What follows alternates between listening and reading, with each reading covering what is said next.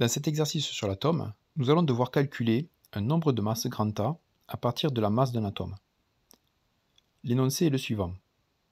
L'atome de fluor, de symbole F, a pour numéro atomique grand Z égale 9.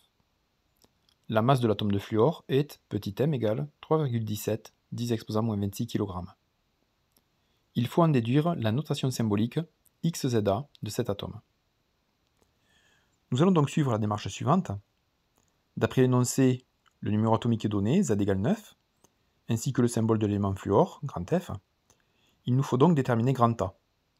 Alors pour rappel, A est appelé nombre de masse de l'atome. Il correspond au nombre de nucléons, c'est-à-dire au nombre de particules dans le noyau, les protons et les neutrons. Or, si nous connaissons grand Z, c'est-à-dire le nombre de protons, nous ne connaissons pas ici celui des neutrons. Donc, pour calculer grand A, nous allons utiliser la dernière donnée de l'énoncé, la masse de l'atome de fluor. En effet, la masse de l'atome et grand A sont liés par la relation masse de l'atome égale grand A fois la masse d'un nucléon. Dans cette expression, m nucléon est une constante qui est égale à 1,67 10-27 kg.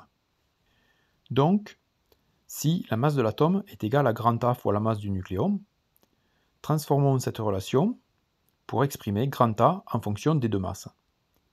Et nous obtenons alors grand A égale la masse de l'atome divisé par la masse du nucléon. Donc ici, grand A est égal à 3,17 10 exposant moins 26 divisé par la masse du nucléon 1,67 10 exposant moins 27 et nous obtenons grand A égale 19. Et donc, la notation symbolique de l'atome de fluor est celle-ci. Il comporte donc 9 protons, grand Z, et 19 nucléons, grand A, et la différence nous donne donc le nombre de neutrons, c'est-à-dire 10. J'espère que cette vidéo t'aura été utile. N'hésite pas à poser des questions ou à laisser un commentaire. Et si tu veux recevoir les prochaines vidéos, pense à t'abonner. A bientôt